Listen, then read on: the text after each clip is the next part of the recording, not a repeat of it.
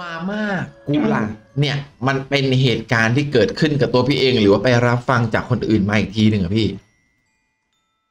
เกิดขึ้นกับเพื่อนสนิทครับ ครับ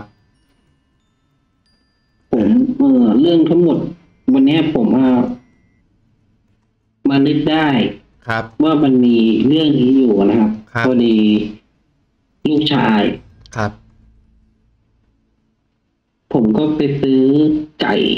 ข้าวเหนียวไก่ทอดข้าวเหนียวนะครับอืมซื้อให้ลูกชายกินครับแต่ลูกชายบอกว่า ไม่ได้กินอะ ไม่กินอะพ่อหนูอยากกินมาม่าอืม ผมก็จะกินทำไม มันไม่ค่อยดี ไม่ค่อยดีกับเด็กหรอกมาม่ามันไม่ค่อยดี โซเดียมเยอะก็หนูอยากกินพ่อเออ ประมาณนั้นเหมือนก็หนูอยากกินอะ เราก็เลยมันนึกออกว่าเออ มันมีมา มันมีเรื่องหนึ่งที่เกี่ยวกับมาม่าเนี่ยอืมที่มันเกิดขึ้นมาเมื่อ20ปีที่แล้วนะครับ20กว่าปีได้ ช่วงนั้นนะผมก็อยู่ที่กรุงเทพนะครับ อาศัยที่กรุงเทพอืมแล้วก็เรียนอยู่ที่กรุงเทพนี่แหละครับแล้วผมว่ามีเพื่อนคนหนึ่งจริง ๆ แล้วก็คือเป็นเพื่อนทั้งสองคนนะครับ อืม อ่า คือคบกันมากันตั้งแต่สมัยประถมแล้วนะครับ แล้วก็รู้จักกันมาตลอด เพื่อนคนเนี้ยคือเขาเป็นแฟนกันอืมอืมเขาเป็นแฟนกันเขาเป็นแฟนกันตั้งแต่ประถมแล้วเหมือนเขาแอบชอบกันก็คุยกันอะไรนะหรือบ้านอยู่ใกล้กันอะไรเนี้ยครับครับ จนตอนที่อายุสักประมาณสิบแปดคือตอนนั้นเรียนปวสกันแล้วครับ เรียนปวสกันแล้วอืมเขาก็คบกันเป็นสามีภรรยากันเลยนะครับ ครับ ครับผมอ่าเพื่อนผมคนเนี้ย ชื่อบอย อืม แล้วส่วนฝ่ายฝ่ายหญิง ฝ่ายหญิง ชื่อนกนะครับฮัลโหลครับครับได้ยินอยู่ครับพี่ ครับผมโอเค คุณบอยกับคุณนผกมนะจะมาเล่าถึงวันเลยแล้วกันนะครับ อืม ครับผมเออคือ มันเป็นอย่างนี้ครับ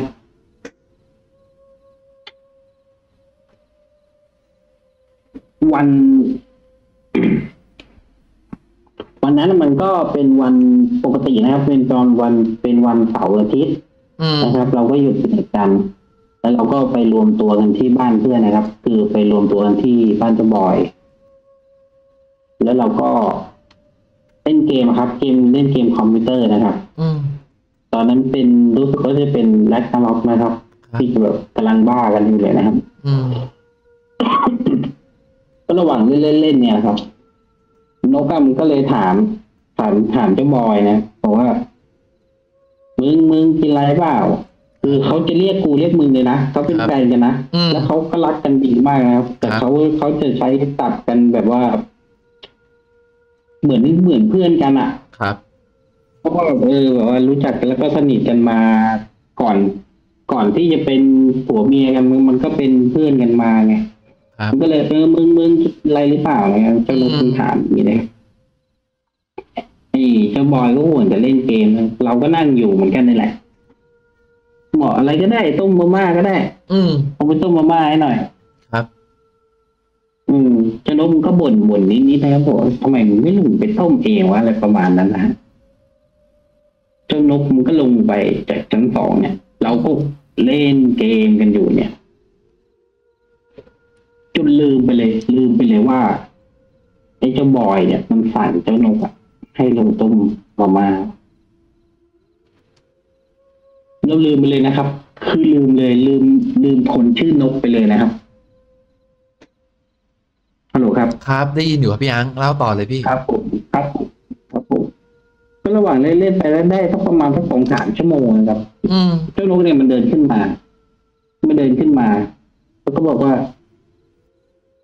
ไอ้บอยมึงลงไปต้มเองนะมึงมึงมึงมึงลงไปต้มเองนะครับแค่นี้นะครับอืมแล้วเขาก็เดินลงไปแล้วก็หาย ครับก็หายไปเลยเราก็ไม่ได้สนใจอะไรนะครับเราก็เล่นเล่นเล่นจนเช้านะครับ เล่นอย่างกันเรียนเช้านะครับอืมเพราะว่าเราต้องเขาเรียกว่าอะไรลง ลงตีบอสอะครับ อ่า เข้าใจครับ เพราะว่าเดี๋ยวเราต้องเออเราต้องเก็บของเก็บอะไรเงี้ยนะครับ ก็คือลืมเลยก็คือยันเช้าเลยต้องเก็บแปดโมงอย่างเงี้ยนะอืมพอเสร็จอ่าพอเสร็จแล้วก็คือแบบเคลียร์แล้วก็คือต่างคนต่างก็จะกลับบ้านกันแล้วนะครับก็เลยบอกเออบอยกูกลับกันก่อนแล้วก็คือ เรื่องนั้นอะไรคือ มันก็ผ่านไปเลยนะคืนนั้น คือเราก็ลืมไปเลยนะครับ ครับจนมันผ่านไปได้วันหนึ่งนะครับไอ้บอยมันโทรมา มันโทรมาหาผมอืมบอกว่าอังไอ้นกไปหามึงป่ะบอกไอ้นกไปหามึงบ้างปะบอกว่าเปล่าเมื่อคืนกูฝันเว้ยนงบอกว่าให้กูลงไปต้มมาม่าเอง อืมกูบอก เออเอาแล้วมึงมึงอยู่ไหนอะไรเงี้ย ผมก็ถามแล้วมึงอยู่ไหนอะบอย ครับบอยบอกกูก็อยู่บ้านนี่แหละ แต่นกอะมันไม่อยู่บ้านอะเมื่อคืนมันไปไหนวะเอก็อ ออกเมื่อคืนก็มึงบอกให้มันลงไปต้มมาม่าแล้วมันก็ขึ้นมาบอกมึงไงครับ บอกว่าให้มึงลงไปต้มเอง อืม เออมันก็มันก็วางสายไปนะครับเรื่องนี้มันก็ผ่านผ่านไปจนผมจะเล่ายังไงดีไอ้เจ้าบอยเนี่ย พออีกวันเนี่ยวันวันถัดไปเนี่ย ก็คือมันตามหานกแล้วมันตามหานกแล้วว่านกมันไปไหน อืมก็เลยโทรไปหาแม่ก่อนที่อ่าคือก่อนที่เขาจะโทรมาหาผมอะนะถามว่านกเนี่ยมาบ้านผมหรือเปล่าเนี่ยอืมคือเขาได้โทรไปหาแม่แล้วแม่ แม่บอกว่า อ๋อนกอะมันมา มาเมื่อคืน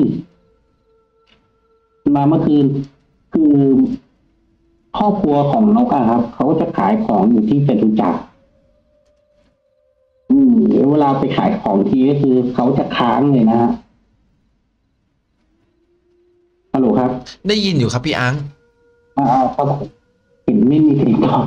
ก็เลยนึกว่าสายหลุดเออเอก็อคือเขาขายของอยู่ที่จตุจักรครอบครัวนี้เขาขายของที่จตุจักรแล้วก็ก็คือจะไปค้างเลยนะครับก็จะไม่ค่อยได้เข้าบ้านอย่างเงี้ยนะอืมคือคืนวันนั้นอะ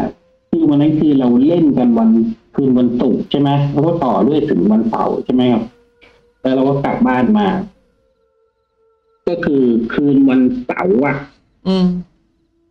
คืนวันเสาร์อะบอยอะโทรไปหาแม่ แม่บอกว่า แม่บอกว่าก็คืนวันศุกร์อะนกมันกลับมานกมันกลับมาที่บ้าน แล้วแม่ก็เลยบอกว่าเอาแล้วไอ้บอยอะบอก เอ้นกก็เลยบอกกับแม่ว่าก็มันห่วงแต่เล่นเกมเนี่ยบาม่ามันยังให้หนูมาต้มเลย อืมแล้วก็เดินเข้าห้องไปแล้วก็หายไปเลยนะครับ ครับเดินเข้าห้องไปก็คือหายไปเลย ในคืนวันศุกร์นะครับอืมเพราะว่าวันเสาร์แม่เขาเตรียมตัวมาขายของจตุจักรก็คือไม่ได้เข้าไปที่บ้านนะครับ ครับ เจ้าบอยเนี่ย ถามหา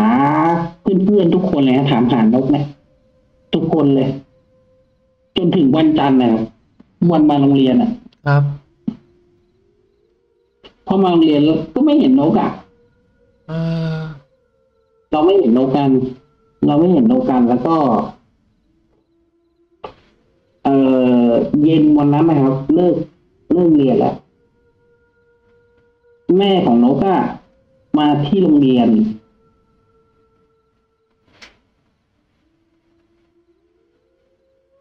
ด้วยอารมณ์ที่ร้องไห้นะฮะครับ แล้วก็เดินมาหาเจ้าบอยนะครับ เจ้าบอยก็คือ เราก็เดินออกมากันเป็นกลุ่มในจากหน้าโรงเรียนอืมแล้วก็มากอดแล้วมากอดบอยนะครับ ครับแล้วก็บอกว่า ลูกนกเสียแล้ว อืมเราก็เราก็ตกใจนะครับเราก็ตกใจกันว่า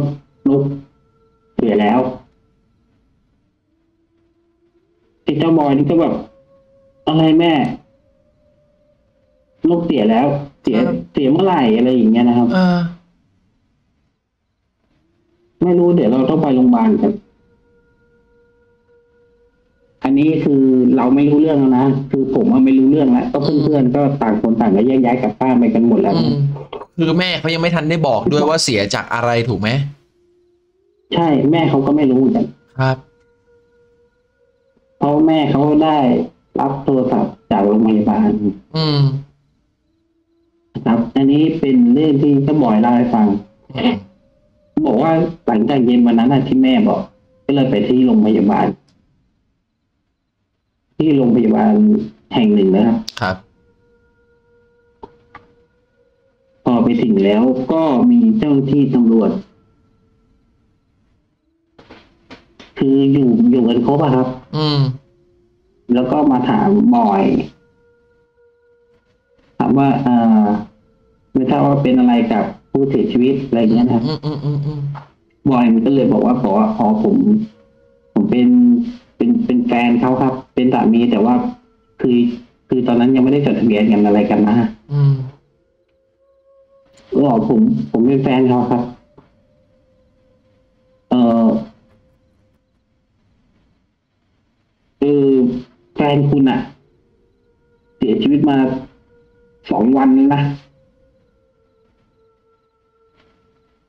แล้ววันที่เขาหายไปเนี่ย คือมันกี่วันหลังจากที่เขาจะมารู้รู้ว่าเสียชีวิตไปสองวันจากเจ้าหน้าที่บอกอะก็คือเขาหายไปวันศุกร์วันนั้นแหละ อ่าตำรวจเจอวันไหน ใช่เจอไปเจอ เจอศพวันอาทิตย์นะครับ แต่เขาชันสูตรศพแล้วบอกว่า อ่าเสียมาแล้วสองวันเสียมาแล้วสองวัน ใช่ แต่ก็ไม่มีบัตรประชาชนหรือไม่มีอะไรที่แบบติดต่อได้อะไรอย่างเงี้ยนะครับครับผม และบังเอิญบังเอิญนะครับบังเอิญว่า ตอนที่เหมือนเขาจะประกาศแจ้ง แจ้งหาญาตินะครับ ครับ อืมเนื่องจาก ครอบครัวเจ้านกอะเขาขายของอยู่ที่จตุจักรมันก็แบบว่าเหมือนเป็นคนรู้จักเยอะอะครับ พอเขาเห็นว่าอ๋อเนี่ยคือนกนะครับ เป็นลูกของอ่าแม่ค้าในจตุจักรอะไรเงี้ยอืมเขาก็เลยโทรตามเรื่องทั้งหมดมันก็เลยเป็นประมาณนี้นะครับ แล้วก็เอ่อสรุปแล้วคือ เป็นอย่างนี้ครับ บอยเล่าให้ฟังว่านกอะที่เราบอกที่มัน มันบอกให้นกอะลงมาต้มมาม่า อืม นกอะลงมาจากบ้าน ครับ พอลงมาจากบ้านแล้วอะไม่ได้ต้มมาม่านะครับเขาขี้เกียจต้มเขาเลยจะเดินออกมาที่หน้าปากซอยที่บ้าน อ่าแล้วรถเฉียวอ่าทำให้ตัวนกอะอ่าตกลงไปข้างร่องน้ำอะครับ ครับ แล้วก็เหมือนน่าจะจมไปเลยนะครับ อืม อืมแล้วก็ไม่มีใครเห็นแล้วก็คือมาเห็นเห็นเห็นศพเห็นศพนกพิธีคือวันอาทิตย์ช่วงเย็นๆนะครับครับ เหมือนอืดขึ้นมาเหมือนลอยอะครับอืคือจมน่าจะจมไปลึกอะครับ ครับ ครับผมแล้วก็ มันเป็นอย่างนี้ ถ้าเราไล่ไทม์ไลน์ดีๆ คือนกอะ เสียตั้งแต่ตอนที่ลงมาแล้วครับ แต่มันจะมีอยู่รอบหนึ่งที่นกอะเดินขึ้นไปบอกว่าไปทำเองนะ ใช่เอคือลงมาต้มเองนะคือตอนนั้นนี่คือเราเราเราก็เราก็เห็นกันหมดนะเราเห็นครับนกนะแล้วก็คือที่บอยโทรไปหาแม่ครับ แม่แล้วเห็น เห็นว่านกอะเดินเข้าไปที่ห้องอะก็คือตอนเช้าครับ พอเข้าใจใช่ไหมอะหมายความว่าในตอนที่เห็นว่าตอนเช้าเนี่ย คิดว่าตอนนั้นเนี่ย คุณนกน่าจะไม่อยู่กับเราแล้วถูกไหมใช่ครับก็คือเขาเสียตั้งแต่จริงๆ ไอไอตอน ไอตอนที่เขาขึ้นมาบอกว่าไปทำมาม่ากินเองนะ นั่นน่ะ ตอนนั้นเขาก็ไม่อยู่กับเราแล้วถูกไหมถูกต้องครับนั่นหมายความว่ามันเป็นมันเป็นความห่วงสุดท้ายที่เขาทำให้แฟนเขาอะว่าแบบ เออ แฟนบอกว่าไปทำมาม่าให้หน่อย แต่ว่าพอเขาลงไปแล้วมันเกิดอุบัติเหตุโดนรถเฉียว ก็เลยทำให้เขาเนี่ยเสียชีวิตโดยที่ไม่มีใครรู้ แต่สุดท้ายหลังจากเหตุการณ์เนี่ยก็ทำให้ทั้งตัวแฟนเนี่ยเจอคุณนกมาบอกว่าไปทำมาม่ากินเอง แล้วก็มีคนมีแม่ใช่ไหมมาเห็นตอนเช้าว่าเดินเข้าบ้าน ใช่ครับ เดินเข้าไปที่ห้องอืมครับ อันนี้คือเรื่องราวทั้งหมดของเรื่องมาม่ากุหลาบก็จบลงไปแล้วสำหรับเรื่องเล่าในวันนี้ ใครที่ชอบก็ฝากกดแชร์ กดไลค์ กด Subscribe ครั้งหน้าจะเป็นเรื่องเล่าเรื่องไหน ฝากติดตามช่องของเราไว้ด้วยสำหรับวันนี้ สวัสดีครับ The Good Story